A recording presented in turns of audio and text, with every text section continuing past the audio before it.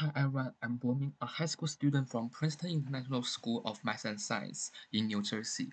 It is my great honor today to present my project at the IMSMB conference. I'm now going to introduce my project, a novel machine learning-based approach for predicting molecular biological binding affinity. When it comes to the drug development, it first the first two things come to our mind is always the time-consuming and high expenditure. It typically takes up to 30 years to develop a new drug. That's why drug repurposing, which uses existing approved drugs to kill some new virus, is an extraordinary strategy to shorten the time span to find a new curve. In my research, DTI, aggregation of drug-target interaction, is an important concept. This process first screens the existing drug for better candidate for a new curve. The mechanism is to train a computational model to predict the binding affinity between a drug molecule and its target protein. Drugs with stronger binding affinity have greater probability to be effective on the disease. It can greatly reduce the time and financial cost. Current DTI models cannot attain high transferability and high prediction precision simultaneously. One example is a model using three-dimensional structural information for proteins and the molecules for binding for the prediction, such as AtomNet and ICONNerNet. However, in most of the database, 3D structured data are only available for a small fraction. And the low transferability is the main drawback of this kind of model. In this project, instead of using the 3D spatial structure, I propose to build a model architecture using one-dimensional drug and protein as input to do the prediction. The information underlying in the, in the protein sequence are defined by letters, which share a similar feature to typical study of nature language sentence.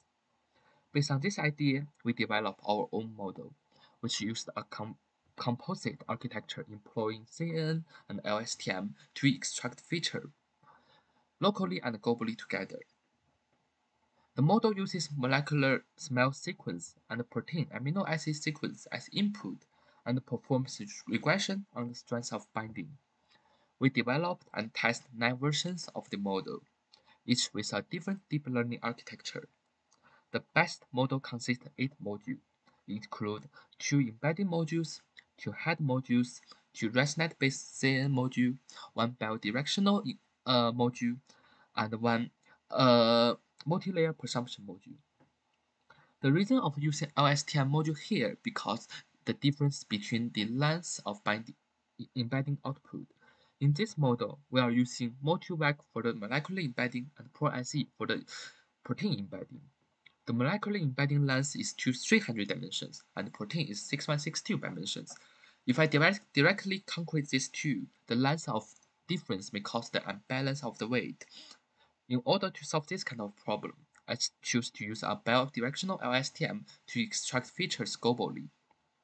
To test the model's performance, I select data from BindingDB dataset, which offer me about 18,000 molecules bound with 2,000 proteins, about 36,000 data in total after data cleaning. The figure shows that the distribution of the input SMILES, sequence length, and pKa values, and all these three values are balanced.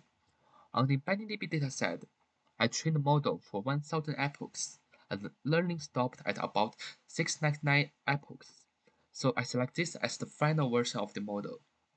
The model's performance is shown in the pairing plot here. The plot shows that model have a very high efficiency in predicting the value in the range of negative 4 to negative 2, and the prediction might be slightly higher when the 2 pKa value is smaller than negative 6, and slightly, slightly lower if the kpKa value is larger than 0. I believe this kind of error is caused by those recording include some whole values, such as some people may choose to write 0.001 or 1000 to represent very strong binding or just no binding. And all those values may confuse the model when predicting the extreme values. The model's performance is also compared with state-of-art DeepCDA model. From here, we can see the performance of model is very good. It is competitive and even slightly better than DeepCDA model on MSE value. In the future, I would like to compare the model with some other current methods, such as Deep Purpose and DeepDTA, and I will try more database, such as KIBA database and Davis dataset, to further test the ability of the generalization. The performance of the model can also be evaluated in specific real-life situations, such as COVID-19 virus datasets. If necessary, the model can also convert to a classification model during the testing. Besides, I will op optimize the model's embedding and adjust the hyperparameters to help the performance to be better. Thank you for listening.